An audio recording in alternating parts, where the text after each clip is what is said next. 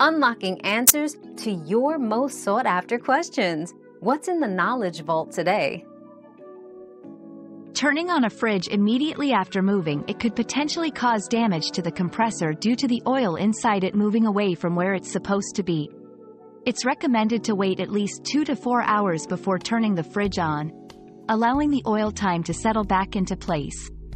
This ensures the longevity of the appliance and helps prevent any immediate harm to its functioning. Patience in this scenario is more than a virtue, it's a necessity. Your daily dose of discovery ends here, but the journey of learning never stops. Subscribe and join us again for more answers tomorrow.